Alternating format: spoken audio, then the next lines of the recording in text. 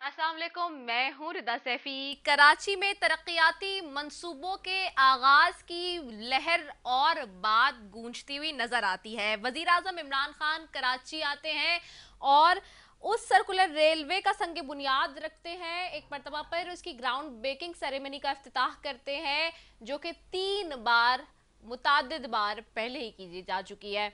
आज जब वजी अजम इमरान खान ने सर्कुलर रेलवे की तीसरी बार संग बुनियाद रखा तो उसे देखने के लिए कराची के सहाफ़ियों को भी मदू किया और वहाँ जाकर जब कुछ रेलवे हकाम से बात हुई तो पता चला उनके इंकशाफात सामने आए कि कराची आ, आ, सर्कुलर रेलवे ये कोई नया मंसूबा नहीं है। ये रेलवे हुकाम ने इंकशाफ किया साथ ही रेलवे ज़राए ने यह भी इंकशाफ किया कि कराची न्यू न्यू आ, सर्कुलर रेलवे जो नया मंसूबा नहीं है ये वही मंसूबा है जो सबक वज़ीर रेलवे साद रफ़ीक ने जिसकी बुनियाद रखी थी या उससे पहले एक और यहाँ बात कर लूँ उससे पहले भी माजी में जो भी आ, सर्कुलर रेलवे के गुजरा गुजरे वो मुतद बार इस तरह की ग्राउंड ब्रेकिंग्स करते रहे लेकिन वो चीज़ की फैसिलिटी कराची के शहरीों को अल्टीमेटली फराम ना हो सकी ताहाल फराम ना हो सकी।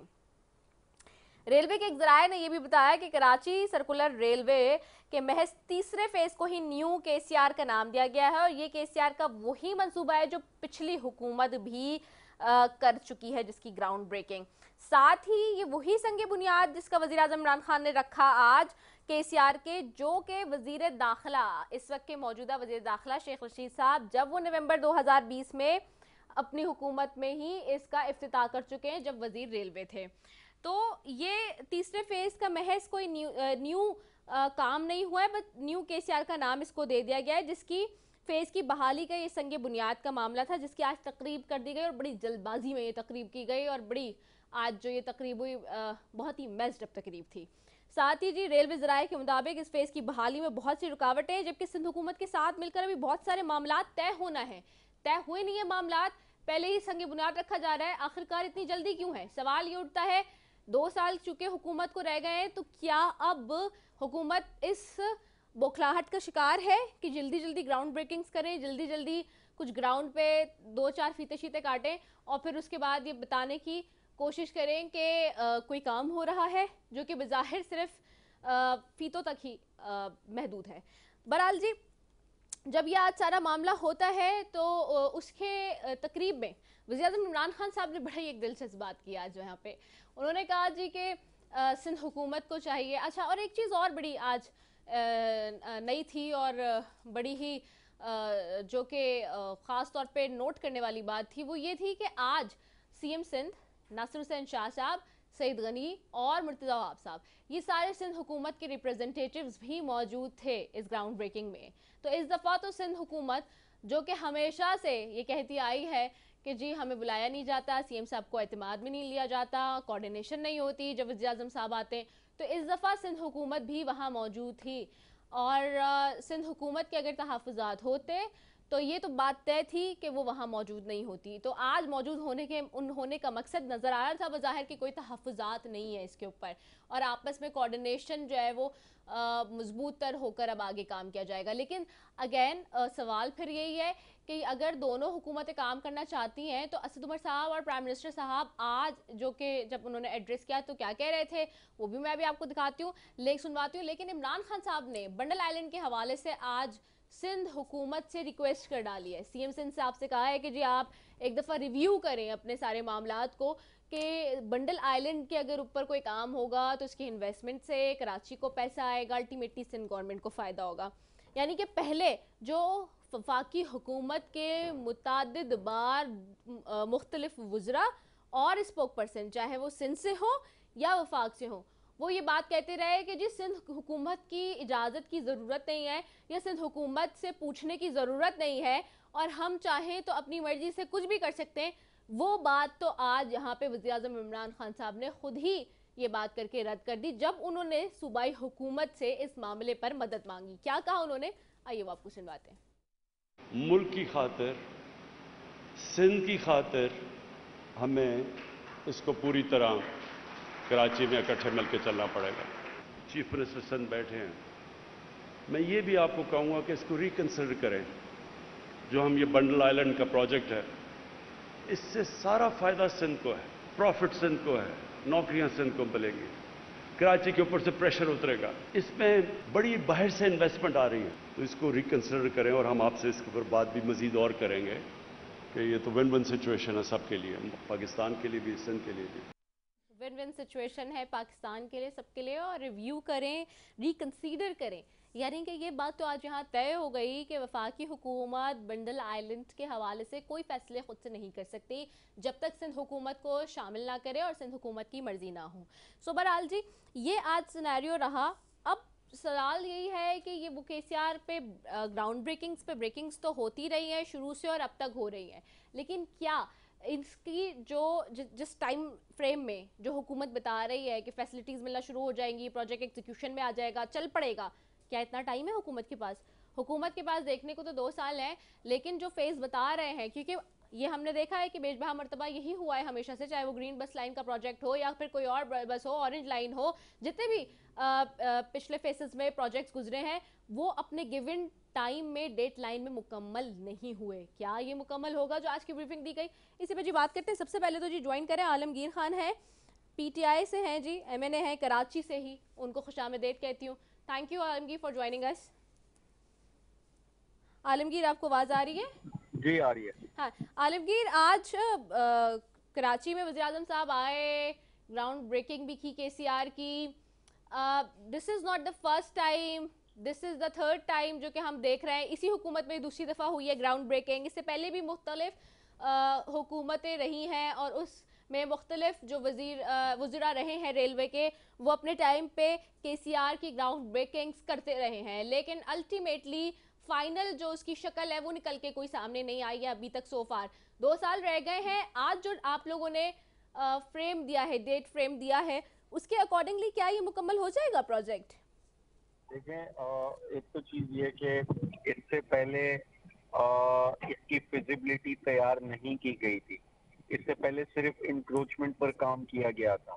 और इंक्रोचमेंट पर भी नाकामी सामने आई थी। इंक्रोचमेंट पर भी वो काम सिर्फ़ मीडिया कैमरे की हद तक किया गया था हकीकतन कुछ नहीं था और इसीलिए चीफ जस्टिस साहब ने इस पर बारहा बरहमी का इजहार किया।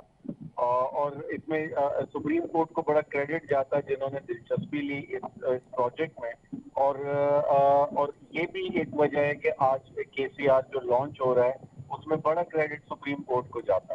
तो इन, इसकी फिजिबिलिटी तैयार हो चुकी है इसका डिज़ाइन तैयार हो चुका है और अब इसके इंफ्रास्ट्रक्चर पर काम होना है।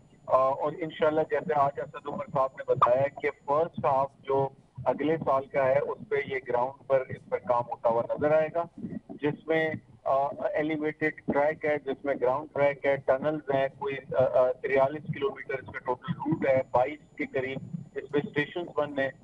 तो आ, रही बात के जो पहले ऐलान हुए तो यकीनन ऐलान हुए काम भी हुआ।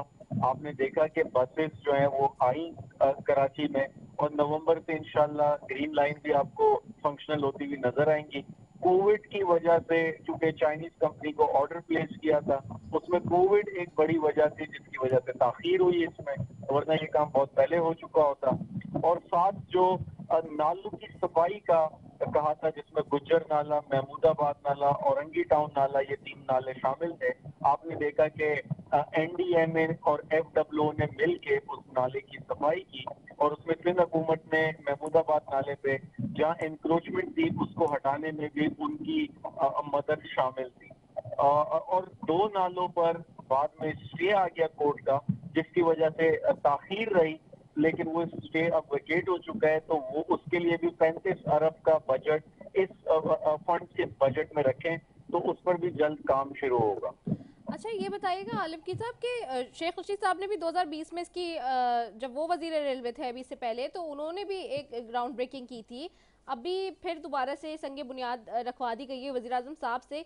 सवाल ये है कि ये जो कम्प्लीशन का टेन्योर बता रहे थे आज असद उमर साहब जो उन्होंने बताया है टाइम फ्रेम क्या उसमें आप लोग को लगता है कि ये मुकम्मल हो जाएगा? क्योंकि सो फार दो साल तो रह गए गवर्नमेंट को तो क्या ये इतनी तेज़ी से मुकम्मल हो सकता है प्रोजेक्ट क्योंकि केसिया का प्रोजेक्ट बहुत बड़ा है। दूसरा ये कि वो जो लोग वहाँ पे जो ट्रैक्स का मामला, जिसके ऊपर बार बार निशानदेही खुद करते रहे शेख रशीद साहब अपने टाइम पे, मुख्तलिफ़ प्रेस कॉन्फ्रेंसिस के थ्रू कि जी ट्रैक्स का मामला जो है वो वो एक बहुत प्रॉब्लम है कि जी वो जब तक नहीं होगा तो कैसे होगा? दूसरा, जब तक लोगों को हटाया नहीं जाएगा तो क्या मुतबादिल दे दिए गए हैं लोगों को? वहाँ से खाली करा ली गई हैं वो जगहें, जहाँ से ये रूट होता हुआ जाना है पूरे शहर से?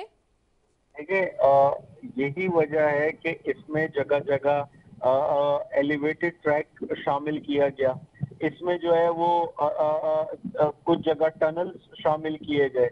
इन्हीं चीज़ों इन्हीं ऑब्स्टिकल्स को मद्देनजर रखते हुए जिसका आप ज़िक्र करिए रही बात जो शेख रशीद साहब ने जो जिस के सी आर का जो ग्राउंड ब्रेकिंग अफ्ताह किया था वो अलग है जो पिपरी से एक एक कराची में माजी में वो भी इसी के सी आर का हिस्सा होता था। जो पिपरी से आगे चलती थी आ, आ, आ, इसकी तरफ़ डिग रोड की तरफ़ ट्रेन चलती थी उन्होंने उसको फंक्शनल किया लेकिन वो वायबल नहीं थी। उसमें लोगों का जो जो पैसेंजर्स की जो आमदो रफ्त है वो बहुत कम है। और वो वायब फिजिबल नहीं है वो फाइनेंशियली वायबल नहीं है नुकसान में है। लेकिन वो ताहल आज दिन तलक वो जो है वो फंक्शनल है। ठीक है ठीक है आलमगीर साहब साथ ही रहे मैं जरा सेनेटर गौस मोहम्मद न्याजी साहब की तरफ़ भी जाती हूँ। मुस्लिम लीग नून आ, भी माजी में केसीआर के हवाले से ग्राउंड ब्रेकिंग करती हुई नज़र आई है हमें। साद रफीक साहब ने भी आ, अपने दौर में ग्राउंड ब्रेकिंग की केसीआर की लेकिन केसीआर का मामला एक इंतहाई अहम मामला है, कराची वालों के बड़े दिल के करीब है, क्योंकि वजी अजम साहब ने जैसे कि आज खुद कहा कि ट्रांसपोर्टेशन का निज़ाम इंतहाई अहमियत का हामिल रखता है किसी भी मेट्रोपॉलिटन सिटी के लिए। और Karachi is a very big cosmopolitan metropolitan city and unfortunately यहाँ पे हमारे पास मास ट्रांसिट का निज़ाम नहीं है। तो सेंटर गौस मोहम्मद यादी साहब, आज के सी आर का की ग्राउंड ब्रेकिंग की है वजी इमरान खान साहब ने। जो टाइम टेन्योर दिया गया है असद उमर साहब की तरफ़ से और वफाकी हुकूमत की तरफ़ से डू यू सी इट कि ये चीज़ें मुकम्मल हो जाएँगी? उन्होंने कहा, नून लीग ने तो अपने टाइप में कुछ नहीं किया कराची के लिए but we are very much into it and we are very vivid के जी हम सारी चीज़ें बहुत ही अच्छे टाइमिंग्स में कर सकें। जी, बिस्मिल्लाह बहुत शुक्रिया, आपने बात करने का मौका दिया। इस बात का जवाब देने से पहले मैं एक अपनी पार्टी के हवाले से अच्छी खबर आपसे शेयर करना चाहता हूँ कि लंदन की अदालत ने मियाँ शहबाज शरीफ साहब को मंडी लॉन्ड्री के केस से बरी कर दिया है। और उनके जो मुंजमद अकाउंट से वो बहाल कर दिए हैं ये हमारी पार्टी के बल्कि पूरे पाकिस्तानियों के लिए। और हम पर जो इल्ज़ाम अब तक लगते रहे हैं पी टी आई की तरफ़ से या दूसरी की तरफ़ से उनके लिए एक लम्हा फिक्री है कि तीन साल ढंडोरा पेड़ते रहे कि मंडी लाने गए मंडी लाने गए अलहमदिल्ला अल्लाह ताला ने हमें शुरू किया और हम उस इल्ज़ाम से बरी हुए। और इन आप बाकी जो केसेस हैं वो भी ऐसा ऐसा ख़त्म हो जाए। दूसरी बात आपने क्या चीज़ सर्कुलर रेलवे की और ये भी अच्छा ये सेक्टर साहब इसमें मैं ऐड ऑन कर दूँ कि बरतानी अदालत ने किया अगर ये पाकिस्तानी अदालत अदालतों ने किया होता तो अब तक बहुत सारे इल्ज़ाम आ चुके होते हुकूमत की तरफ़ से। हो चुके हैं बिल्कुल बिल्कुल मैं आपकी बात समझ सकता पता है अभी भी और भी, भी गवर्नमेंट का कोई स्पोक मैन मैंने भी नहीं सुना कि उनका क्या रिक्शन आया। वो भी कोई ना कोई कीड़े निकालेंगे। अभी शहबाज गिल साहब या कोई शहजाद साहब कोई ना कोई नेगेटिव चीज़ कहेंगे। बारह हमारे लिए बहुत अच्छी खबर है पूरी पार्टी के लिए पूरी पाकिस्तान के एक जो इल्ज़ाम का सिलसिला था अब वो एक अंजाम को पहुँच रहा है। दूसरा ये कराची सर्कल जो हमारे दौर में शुरू हुआ इसका प्रोजेक्ट शुरू हुआ। असल मसला जो है वो आप जो है वो कागजात हैं, जो रेलवे ट्रैक के ऊपर घर बन गए हैं, या उनको क्लियर कराना है, जब तक वो पूरे नहीं होते तो ये सर्कल रे पूरा नहीं चल सकता। शेख साहब ने पहले शाह साहब ने किया, फिर शेख रशीद साहब ने किया, उसके कुछ हिस्से पे कोई साल में चार पाँच किलोमीटर पे ट्रेन भी चलाई, और वो इतने सारे में जा रही है कि शायद उसका खसारा पूरी रेलवे बराबर हो रहा है। हाल में कि वो उनका हक कहना है कि चूँकि सुप्रीम कोर्ट ने कहा कि कराची रेलवे चलनी चाहिए तो मैंने चला दी तो इसके दोबारा किसी सी बात कर थी अलबत् और ये कहना है कि जो भी मनसूबे हैं, वो हमारे मनसूबे हैं, उसी का फसा करते जा रहे हैं। आज तक अलहमदिल्ला मुस्लिम लीग के मनसूबे ये सस्ते लगा रहे हैं कि तो कोई ऐसा मसूबा इन्होंने नहीं शुरू किया जिसका ये इफ्ताह कर सके। तो ये एक क्रेडिट हमारी हुकूमत को जाता है। और एक और अच्छी बात जो आपने कही कि खान साहब ने बड़ी रिक्वेस्ट की है हुकूमत से क्योंकि दस पंद्रह दिन पहले ये बड़ी गोलाबारी कर रहे थे सिंध हुकूमत पे, ये है वो है। आज उन्होंने रिक्वेस्ट की आइलैंड के हवाले से कि इसको आबाद होने दिया जाए और हम मिलकर काम करें अच्छा तस्वीर है। और दूसरा के पॉजिटिव चीज़ अगरचे हमारे है, लेकिन मैं इसको एक पॉजिटिव चीज़ रहूँगा और मैं कहता हूँ काश अगर तीन साल जी। जब इन की थी उनका एटीट्यूड ऐसा होता तमाम के साथ तमाम पार्टी के साथ तो पाकिस्तान बहुत आगे जा सकता मैं बिल्कुल नहीं समझ पा रही सेंटर गौस साहब थोड़ा सा दोबारा से बताइएगा आप क्या फरमा रहे हैं? जो साहब ने किसी बात की है कि उन्होंने सिंध हुकूमत को रिक्वेस्ट किया है जी कि के हवाले से आप हमारे साथ तावन करें और करें। और ये अच्छ- अच्छा साइन है। इसमें तो मैं ये कहता हूँ कि काश अगर प्राइम मिनिस्टर का शुरू से ही ऐसा होता स्कूल के साथ तमाम हम्म। के साथ तमाम सियासी पार्टी के साथ तो एक अच्छा गेस्टर चाहता और को ताकि अब के साथ तो खाजा पारी इतिहास अब खाजा पारी देख रहे हो कि हम जो है से पहले है, क्या मोदी जो है वहाँ या, इमरान खान साहब की है जैसे कि भी शुक्र है कि अमेरिकन फॉरेन मिनिस्टर ने हमारे फॉरेन मिनिस्टर से बात कर ली। बात ये चीज़ें हम जब तक ये प्राइम मिनिस्टर साहब नहीं करेंगे ये जिस अच्छा सेंटर साहब आपकी आवाज़ मुझे बिल्कुल नहीं आ रही है। I think we have some technical glitch मैं जरा आलमगीर साहब की तरफ़ भी दोबारा चले जाती हूँ। आलमगीर साहब, एक तो ये भी चले, ये तो कराची के हवाले से मामला है। अब ये बताएँ कि केसीआर कब तक चल जाएगी? आम अगर जबान में पूछा जाए, लोग कब इसमें बैठेंगे? ये ट्रेनें कब नज़र आएँगी? कब चलती हुई नज़र आएँगी? और कब कराची के लोग इससे मुस्तफीद हो सकेंगे?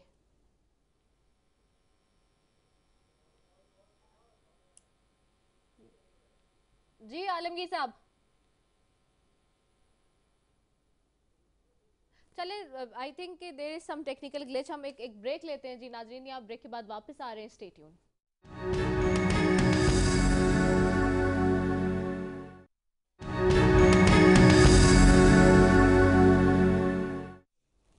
वेलकम बैक नाजरीन, और इसी पे बात करेंगे आज खासतौर पे कराची के हवाले से भी बात कर रहे हैं और दीगर मौजूद पे भी बात कर रहे हैं, जी, जैसे कि आज जो शेख रशीद साहब ने प्रेस कॉन्फ्रेंस में बातें की हैं कि नून लीग में दो के बजाय तीन ग्रुप बनेंगे। अब ये कितने बड़े बड़े दावे आज किए जा रहे हैं? अभी तक दो तो बनते हुए नज़र नहीं आ रहे हैं। नून से शीन तो निकल नहीं पा रही है कि तीन बन जाएँगे। अब ये चीज़ें हैं इस तरह की और बहुत ही अनफॉर्चुनेटली हम देखते हैं कि जी पोलिटिकल जो एक सिनेरियो है वो कुछ और ही बनता जा रहा होता है। वेल मैं जाती हूँ अभी सबसे पहले तो पीपल्स पार्टी से जी, मुझे ज्वाइन करिए। शाजिया, सोबिया सुमरो साहिबा हैं एम एन ए हैं। उनको भी खुश आमदीद कहती हूँ प्रोग्राम में और साथ ही जी केसीआर के हवाले से सिंध अ, का क्या सॉरी पीपल्स पार्टी का क्या मौकफ है सिंध गवर्नमेंट का क्या मौकफ है उस पर भी बात करेंगे। Thank you so very much Shazia for joining us ji thank you for inviting me अच्छा शाजिया सबसे पहले तो आज हम थोड़ी सी बात कर लें केसीआर के हवाले से ग्राउंड ब्रेकिंग करते हैं वजी कराची आते हैं और उसमें हमने देखा कि सीएम साहब भी मौजूद थे, नासिर शाह साहब, सईद गनी साहब मुर्तवाब साहब everybody was there on board तो ये जो केसीआर का मामला है, जिसमें सुप्रीम कोर्ट भी बड़ा हमें बीच में क्वाइट हाइपरली एक्टिव नज़र आया तो उसके बाद अब ये सिनेरियो जो वफाक और सिंध के दरमियान ख़ासतौर पे जो एक बिल्डअप हो रहा है, और आज के इस ग्राउंड ब्रेकिंग के बाद जो हमें नज़र आ रहा है, ख़ासतौर पे बंडल आइलैंड के हवाले से जो पीएम ने सी एन साहब से रिकन्सीडर करने के लिए बातें की हैं उस सबको देखते हुए तो हमें पीपल्स पार्टी का स्टांस मज़बूत होता हुआ नज़र आता है, बंडल आइलैंड के हवाले से भी, जैसे कि हम सब जानते हैं, बीच में हमने बेतहाशा प्रोग्राम उस पर किए। आपने भी उसमें बहुत सारी बातें की, बहुत सारे लोगों ने किए। तो अब ये बंडल आइलैंड के हवाले से जो आज पीएम कह रहे थे कि सीआर की तकरीब से खिताब करते हुए कि रिकन्सीडर करें उससे इन्वेस्टमेंट आएगी। Do real think people's party अब जाएगी फोर्स करेगी इसको कि हाँ जी, हम दोबारा से रिव्यू की तरफ़ जाएँ? अगर वफाकी हुकूमत एक कदम आगे बढ़ा रही है और कह रही है कि जी हमारे साथ मिलकर काम करें। थैंक यू रिदा सबसे पहली बात तो ये है कि मेरे ख्याल में सिंध गवर्नमेंट या पाकिस्तान पीपल्स पार्टी कभी भी किसी भी चीज़ में कोई भी हर्डल नहीं डालेगी जो पाकिस्तान के लिए या सिंध की आवाम के लिए या पाकिस्तान की आवाम के लिए कोई अ, स- उसकी सहूलत के लिए बात हो। आपको याद होगा कि जनाब आसिफ अली जरदारी साहब ने जब फ्लोर ऑफ़ द हाउस ये कहा था कि जब पाकिस्तान की बात होगी पाकिस्तान की नेशनल सिक्योरिटी की बात होगी या पाकिस्तान के अवाम की बात होगी तो हम आपके साथ एज अपोजिशन नहीं हम आपके साथ अ, आप के साथ एज अ पाकिस्तानी खड़े हुए होंगे। तो देखिए आज जो पीएम साहब का वहाँ पे आना एक ये समझ लें कि ठंडी हवा का झोंका समझ लें कि हम ये कहेंगे कि आप इस चीज़ को कंसिडर करें कि जो प्रोजेक्ट पाकिस्तानी आवाम या कराची की आवाम के लिए, भलाई के लिए हैं, सबसे पहले तो उनको कंसिडर करें। दूसरे जो आपने केसीआर की बात की तो देखिए वो चीज़ मेरे ख्याल में बहुत पुरानी उसकी है और उस पर अभी दोबारा से उसको एक रिव्यू करना चाहिए कि वो प्रोजेक्ट कहाँ से, कैसे हुआ है, उसको एक दफ़ा ज़रूर देखना चाहिए। क्योंकि एकदम से उस पर पैसे लगाना जो पहले प्रोजेक्ट बीच में लटके हुए हैं उनको पूरा करें और केसीआर आप एक दफ़ा रिव्यू करें उसकी फिजिबिलिटी देख ले और उसके बाद शुरू करें तो हम किसी भी चीज़ में हर्डल नहीं डालेंगे right. अगर पाकिस्तान की आवाम या कराची की आवाम के लिए है और अगर वंडर आइलैंड कोई है और जैसे कि आप लोग पीछे आए कि ये दावा है कि हम पाकिस्तान को एक tourism country friendly tourism country बनाएँगे और प्रेसिडेंट साहब ने भी ये कहा है तो उसके लिए मिल के काम करना होगा। ये एक इंडिविजुअल बंदे का काम नहीं है, ये मिल के सबके साथ काम करने वाली चीज़ है। तो ये ना हो कि जैसे पहले 1100 अरब का सिर्फ़ एक ऐलान हुआ था और उसके बाद कोई भी ग्राउंड पे काम होता हुआ नज़र नहीं आया। आई होप के प्राइम मिनिस्टर साहब अगर गए हैं तो उसके कोई इफ़ेक्ट भी ग्राउंड पे नज़र आने चाहिए और काम होते हुए दिखना चाहिए। ठीक है। अच्छा मजीद मैं आपसे बात करती हूँ। मैं I am moving toward centre Ghaus Mohammad यादी साहब। सेंटर गौस साहब आज एक चीज़ और भी बड़ी इंपॉर्टेंट थी वो ये कि शेख रशीद साहब जब भी हमेशा प्रेस कॉन्फ्रेंस करते हैं तो उसमें नून लीग का तस्करा किए बगैर पीछे नहीं रहते। अब एक बार तो एक तरफ़ तो ये बात है वाकई कि जी लंदन की अदालत में बरतानवी अदालतों में ख़ासतौर पर जिस तरह से आ, आप लोगों के केसेस के फैसले आ रहे हैं वो भी हमारे सबके सामने हैं। और दूसरी तरफ़ जो हम देख रहे हैं कि किस तरह से आज भी ये आ, क्लेम कर रहे थे शेख रशीद साहब की जी नून से तीन ग्रुप बनेंगे। अब दो के बजाय तीन पर आ गए वो। अभी तक हम नून से शीन वाला मामला या शीन से नून वाला मामला ही एक कॉन्स्पिरेसी लेके चल रहा था मीडिया लेकिन एक नई कॉन्स्पिरेसी थ्योरी अब वो दे रहे हैं। सैफी साहब आप देख रहे हैं कि हुकूमत के जितने भी वजरा हैं या जो अरकान हैं उनके सर पे मुस्लिम लीग कितनी सर पे सवार है। उनको एक फोबिया हो गया मुस्लिम लीग नून का। और रोज़ाना मुस्लिम लीग नून के लिए कोई ना कोई नई अख्तरा ये ईजाद करते हैं। कभी कहते हैं जी नून से चीन निकल गई कभी चीन से क्या मीम निकल गई। तो ये एक उनके साथ पे मुस्लिम लीग नून सवार हो गई है। और इतनी खौफ ज़दा है कि रोज़ाना जो है वो कोई ना कोई नई एक मन घड़त स्टोरी जो है वो निकालते हैं। देखो मैंने पहले भी कहा है जितना कि हम्म। इख्तलाफ पार्टी में होता है हम्म। लेकिन फैसला मियाँ नवाज़ शरीफ साहब का होता है कि जो आखिर जो फैसला करेंगे, उसी पे अमल दरामद होगा। आपका आजकल हमारी तंजीम साजी हो रही है तो शहबाज शरीफ साहब को सदर पार्टी का मियाँ नवाज़ शरीफ साहब नामजद किया है और मैं एक शहर का, ज़िले का सदर हूँ। मुझे भी नामजद जो है वो मियाँ नवाज़ शरीफ साहब ने किया। तो बस ये है कि पॉलिसी जो है, वही आखिर में फाइनल होती है वो मियाँ नवाज़ शरीफ साहब हाँ एक तरह ज़रूर है, कोई कोई इसकी राय क्या भी एक स्पेस है, उसको और ऑक्यूपाई करनी चाहिए किसी और को कैसे करी जो पॉलिटिक्स में। क्योंकि तो हुकूमत नाकाम हो चुकी और उस सलाद किसी पार्टी ने तो फिलअप करना तो वो कुछ लोग हमारा बात को कि ये है कि जल्दी आके बढ़कर सरकार बना के उसको फिलअप किया जाए। वजह इसके कोई ज़्यादा सियासत जो पॉलिटिक्स होती है, उसमें स्पेस होता है तो हमें उसको फॉलो फिलअप करना चाहिए। अच्छा एक बात और है एक बात और है कि आज जैसे फेडरल गवर्नमेंट या सिंध में तो कह रही है सिंध गवर्नमेंट से कि जी हमें सब सपोर्ट चाहिए साथ चलते हैं बंडल आइलैंड पे रिकन्सिडर करें।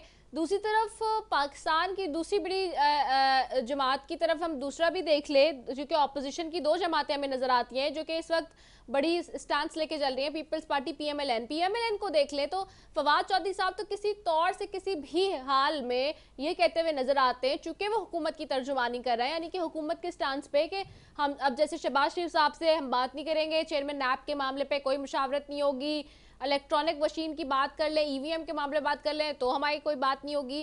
तो ये ये कौन सा तरीकेकार है कि अगर ऑपोजिशन को साथ लेके नहीं चलेंगे तो कैसे अकेले कैसे चला लेंगे क्या चीज़ें? लेकिन मैंने पहले कहा कि आसाब पे सवाल है। अब देखो, ये तो शहबाज से बात करना और मशवरा देना पेशावर करना एक आईनी और कानूनी ज़िम्मेदारी चलो एक लेयर में तो कहता तो फिर भी बात थी ये एक इंफॉर्मेशन मिनिस्टर है जो खुद ठीक है और इनको समझ है। वो अगर कोई किस्म का मुस्लिम को गाल दे रहा है फिर हम चोर से बात हम कैसे कर रहे हैं? अलहमदिल्ला आज सुप्रीम कोर्ट की जो लंदन की कोर्ट का जो ब्रिटिश कोर्ट का फैसला आया है जी। जो हुकूमत पाकिस्तान ने खुद तय किया मनी लॉन्ड्रिंग वो हमारे हक में आ ये हुकूमत के मुँह पर और, जो वज़ीर इतलात है मेरा तो एक तमाचा है। तो मतलब ये है कि जिस तरह आप आज़ाद तरह से नहीं चाहते, सोशल मीडिया पे जो आप अपनी रौनक बना लेते हैं, लेकिन आप ग्राउंड जब काम काम ही करेंगे तो कैसे काम अब देखो ना सिर्फ़ से आकर उन्होंने यादव ने वज़ीर मांगी। रिक्वेस्ट तो ये ये मैंने पहले भी कहा कि तीस साल पहले अगर ये करते तो सियासी पार्टी को साथ लेके चलते तो पाकिस्तान बहुत आगे लेकिन इनको समझ नहीं है। अब समझ आइए कि हमारे तो इलेक्शन में तो डेढ़ साल रह गए तो हमारे पास अब, कुछ नहीं और महँगाई का ये हाल है। तो लोग रुक रहे हैं पीट रहे हैं। और महँगाई डबल डिजिट में चली गई है और कर्जे बढ़ गए हैं। और ग्राउंड को है कुछ नहीं। भारत और गवर्नेंस देख पंजाब की गवर्नेंस देख क्या गवर्नेंस का क्या हाल है। मियाँ नवाज़ शरीफ साहब के बोगस एंट्री काटी जाती है, कि जिसने वैक्सीन दिलवाई है। अल्जाम फिर मुस्लिम लीग नून की शरारत है।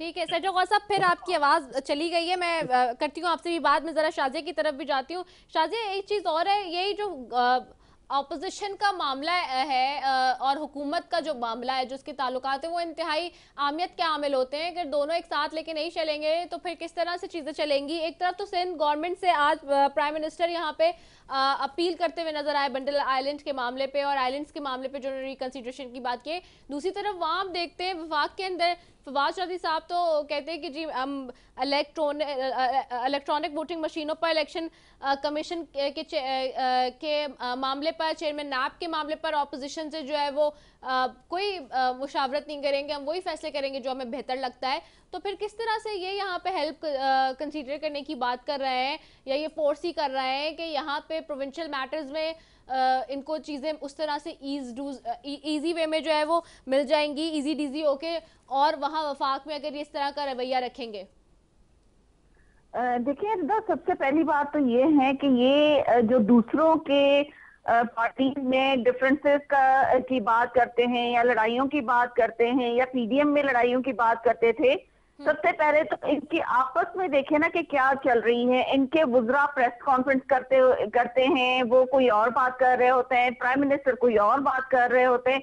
मुझे समझ में नहीं आता कि गवर्नमेंट में होते हुए आपस में मुशावरत करके क्यों नहीं कोई बात करते देखिए, अब ये चीज़ें अगर इस तरह से चलेंगी, देखिए इनकी आदत है कि हर चीज़ को बुलडोज करना। कभी भी आपने देखा हो कि किसी भी नेशनल कॉज हो या कोई अवाम के इंटरेस्ट की बात हो कि इन्होंने आ, कभी भी अपोजिशन को या अवामी नुमाइंदों को अपने साथ बिठा के और बात की हो। पहले दिन से ये चोर डाकू के नारे लगाते आए हैं शोर मचाते आए आधे से ज़्यादा चोर तो इनके अपनी अगर मैं लिस्ट गिनवाऊं तो आधे से ज़्यादा चोर तो इनके अपनी जमात में बैठे हुए हैं। और वो लोग जो एज ए स्पेशल एडवाइजर आके ज्वाइन कर रहे थे और आहिस्ता आहिस्ता छोड़ते जा रहे कोई उनको बुला के पूछे नैब से कहें कि उनके जो स्पेशल एडवाइजर छोड़ के चले गए उनको बुला के पूछे कि भाई आपने किस इंटरेस्ट पे ज्वाइन किया था और कि, किस बात पे आप छोड़ के जा रहे हो कितनी करप्शन आपने की आधे से ज़्यादा तो करप्शन उन्होंने की है। तो ये आपस में इन सब की मिली भगत है। चाहे वो इन्होंने सारे इदारों को कंट्रोवर्शियल किया हुआ है इनको सिर्फ़ अपने इंटरेस्ट चाहिए ये किसी भी तरह से ये चीज़ें कर करते हैं और करते रहेंगे आगे भी इदारों को कंट्रोवर्शियल बना के। और मीडिया पे अपना होल्ड रख के ये सारी चीज़ें करते रहेंगे। तो मेरे ख्याल में ये खुद इलेक्ट होके नहीं आए हैं, ये अवामी नुमाइंदे नहीं हैं। अगर ये अवाम में से आते या अवाम ने इनको इलेक्ट किया होता तो इनको अवाम के दुखों का पता होता कि अवाम इस वक्त खुदकुशी पे मजबूर हो चुकी है। महँगाई जो आपने एक करोड़ नौकरियाँ देने का वादा किया था, दो करोड़ से ज़्यादा लोगों को आपने बेरोजगार कर दिया है। और उसके अलावा जो महँगाई आपने उरूज पे पहुंचाई हुई है, उसके लिए आप बात नहीं करेंगे। सवाए ईवीएम की बात करने के, चोर डाकू के नारे लगाने के और जितने आपने बाहर से जो आप कह रहे थे कि हम पैसे मंगवाएँगे, आधे से उससे डबल दुगना पैसा आपने उस कंपनी को दे के वहाँ से आपने कितने इंटरेस्ट वापस लिया है और आपके जो रेवेन्यू जनरेट हुए वो कितने हुए हैं, ये कोई बात आपसे ना पूछे। जो आपकी एक रिपोर्ट जो करप्शन की सबसे बड़ी इदारों में करप्शन की रिपोर्ट आनी थी, वो आपने पकड़ी हुई है। आपका फॉरेन फंडिंग केस अगर ओपन करें तो मेरे ख्याल में आप पाकिस्तान में कभी सियासत नहीं कर सकेंगे। तो ये चीज़ें इनकी इंटरेस्ट की जो चीज़ें होंगी, वो सिर्फ़ एड्रेस होनी चाहिए। बाकी ना तो अवाम में इनका कोई इंटरेस्ट है, ना अपोजिशन में इनका कोई इंटरेस्ट है। इनको सिर्फ़ अपनी कुर्सी बचानी है। नेक्स्ट टाइम आने के लिए इनको पावर चाहिए। और कुछ भी नहीं, अगर आपको लगता है कि इन्होंने कोई काम किया है तो हमें बता दीजिए, हम ज़रूर अप्रिशिएट करेंगे। और हम नहीं, उन लोगों में से हैं जो दूसरों को बुरा भला कहें या उनके किए हुए काम को अप्रिशिएट ना करें। अच्छा शाजी एक और चीज़ भी है ना, बड़ी इंपॉर्टेंट वो ये कि जैसे फवाद चौधरी साहब खुद भी अग्री कर रहे हैं यानी कि हुकूमत जैसे जैसे जाने का टाइम आ रहा है, हुकूमत के मुकम्मल होने का, उसके टेन्योर का वैसे वैसे कुछ चीज़ें भी इनके अपने लोग ही अग्री भी करते जा रहे हैं। जैसे बल्दियाती इदारों की बात हो, उनकी बहाली की बात हो या इंतबात की बात हो तो they saying that this is the major lacking जिसके अंदर जो है वो पीटीआई यहाँ फ्लॉप हो गई है, बल्दियाती जो इंतबात है, वो नहीं करा पाई है और वो नहीं करा पा रहे हैं अभी तक सोफार अगर हम लाहौर में देख लें, उस्मान गुजार साहब का देख लें, पंजाब में किस तरह से क्या हुआ है तो सबसे बड़ी नाकामी इनकी अपनी खुद जो कि ये अग्री कर रहे हैं। So do you really think कि ये चीज़ें जो अग्री भी करते जा रहे हैं, फिर उसके बाद फिर वो बाद में, लेकिन चीज़ अब जब इतनी ज़्यादा मीडिया उसको इम्पोर्टेंस देने लगता है तो फिर आगे से आते हैं जी सियाको से बाग से हटा, हट के बात की जा रही है, या पर्सनल राय थी, जो कि पर्सनल राय होती नहीं है। जैसे जैसे जब आप लोग किसी फोरम पर आते हैं, यहाँ पे तो एक जमात को रिप्रेजेंट कर रहे होते हैं, उसके स्पोक पर्सन होते हैं ऑफिशियल जब भी आप लोग यहाँ आते हैं तो ये जो चीज़ें सामने आ रही हैं अब खुल के, और फिर जैसे सेंसस का मामला एक छोड़ दिया है तो दो साल तो रह गए हैं इलेक्शन में तो सेंसस कैसे होगा? क्योंकि ज़ाहिर सी बात है सेंसस होना फिर उसके, उसका रिज़ल्ट आना, फिर नोटिफाई होना, फिर डीलिमिटेशन होना that is a long procedure देखिए रिदा, यही तो इनकी नाकामी है, जो हम पहले दिन से कह रहे हैं कि आप सिलेक्टेड हैं, आप नाअहल और नाकाम गवर्नमेंट है। तो ये चीज़ देखिए, अब प्रूफ होती जा रही है, इनके अपने लोग जिस तरह से इदारों को मुतनाज़ बना रहे हैं, अपने किए हुए कोई एक प्रोजेक्ट बता दें जो इन्होंने शुरू किया हो या इनके दौर में शुरू हुआ हो और इनके दौर में खत्म होने वाला हो। और दूसरी बात आपने सेंसस की की है तो मैं ये समझती हूँ जो कराची को ऑन करने का दावा करते हैं जो हर दफ़ा गवर्नमेंट में बैठे हुए होते हैं और हर गवर्नमेंट के साथ होते हैं चाहे वो डेमोक्रेटिक हो या फिर मार्शल हो लेकिन वो हर दफ़ा किसी न किसी गवर्नमेंट का हिस्सा बने हुए होते हैं। मैं एमकेएम वालों की बात कर रही हूँ तो क्यों नहीं वो सेंसस पे गवर्नमेंट में बैठे हुए उनसे बात कर रहे हैं। क्यों नहीं प्राइम मिनिस्टर को कह रहे हैं कि दोबारा सेंसस करवाएँ? इलेक्शन से पहले ये सेंसस होने चाहिए। और बल्दियाती इलेक्शन की आपने बात की तो आप ये देखें कि इस गवर्नमेंट के आने के बाद सबसे पहले जो बल्दियाती निज़ाम जो है, जो लोकल गवर्नमेंट थी, वो डिजोल्व हुई है पंजाब और केपी में।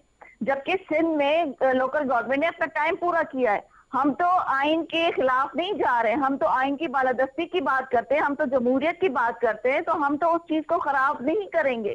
तो ये लोग इनकॉम्पिटेंट हैं और ये अब सबूत इनके गुजरा के मुँह से आप लोग सुन रहे हैं कि वो खुद ही अपनी इनकॉम्पिटेंसी का उसको एक्सेप्ट कर बताते हैं हाँ, वो एक्सेप्ट कर रहे हैं। सेंटर गौस मोहम्मद यारी साहब नून लीग इसको कैसे देख रही है? इस सेंसस के मामले को क्या ये प्रैक्टिकली इम्प्लीमेंट या एग्जीक्यूट हो सकता है? क्योंकि आप लोग आप लोग भी देख रहे हैं कि किस तरह से सेंसस हुआ है और पिछला और सारी चीज़ें। तो क्या ये करा सकेगी हुकूमत इतने कम टेन्योर में जो बात करती है? नहीं मेरे ख्याल में ये बस की बात है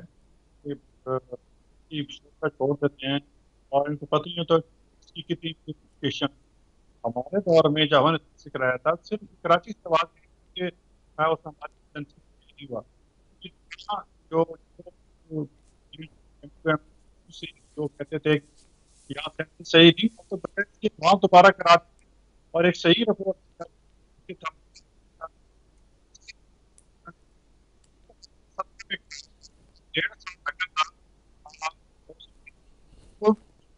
बने थी और हमें नहीं हो सकता।